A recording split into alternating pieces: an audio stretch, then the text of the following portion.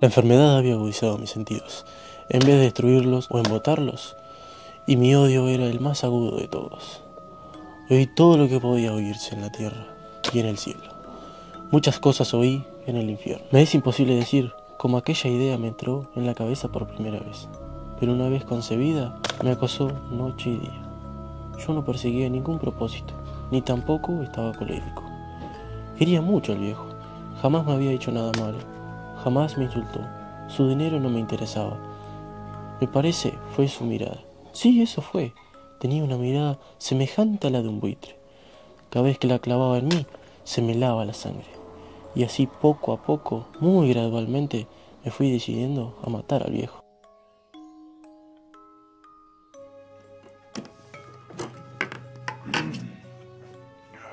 Qué bien te quedó, mijo. Muchísimas gracias, ¿quiere un poquitito más? No, no. Quiero quedar livianito para la noche. Jamás fui más amable con el viejo la semana antes de matarlo. Buenos días, Juan. ¿Cómo se encuentra el día de hoy?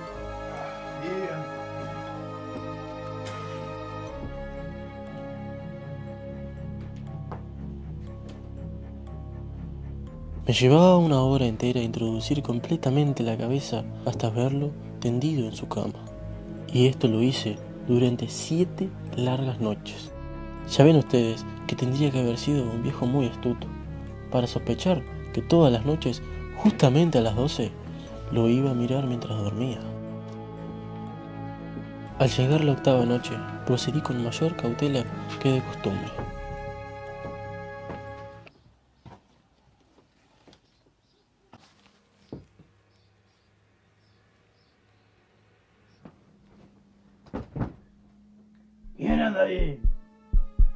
El espanto del viejo tenía que ser terrible, cada vez más fuerte, más fuerte, más fuerte. Me pareció que aquel corazón iba a estallar.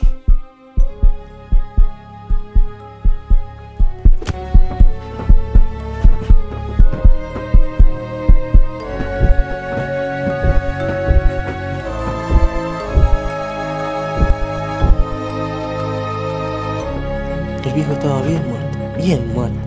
Su maligna mirada no volvería a molestarme. Si ustedes continúan tomándome por loco, dejarán de hacerlo cuando les describa las astutas precauciones que adopté para esconder el cadáver.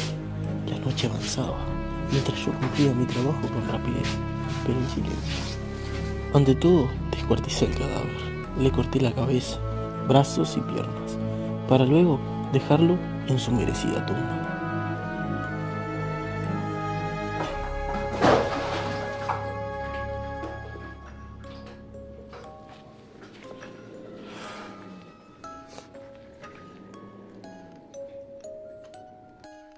Cuando terminé mi tarea, eran las 4 de la madrugada.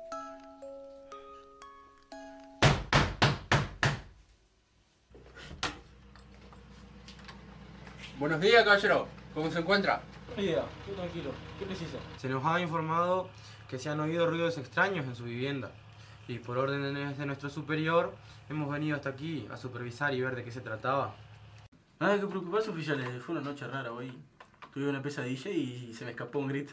Pasen, pasen, por favor. Bueno, con permiso. Con permiso. Buen termo, caballero. Sí, la verdad que después de la pesadilla se me hizo complicado dormir. Claro, claro, son cosas que pasan. ¿Será que es posible que podamos subir a bichar el segundo piso? Pero por favor, mi casa es su casa.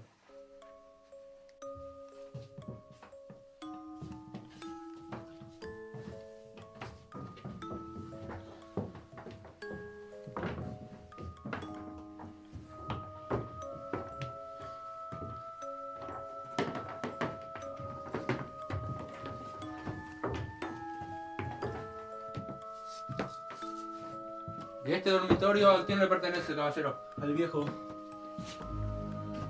¿Y qué le ha sucedido? El viejo hace unos meses nos dejó. ¿Y de qué se murió? De un derrame cerebral. El cerebro le ganó la batalla. Bien, con permiso. Eh, si nos permite, vamos a revisar las otras partes de la casa. Sí, cómo no.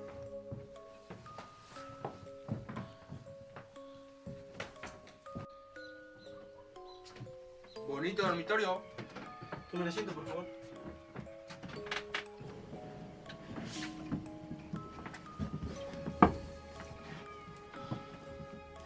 Así que vienen de la séptima.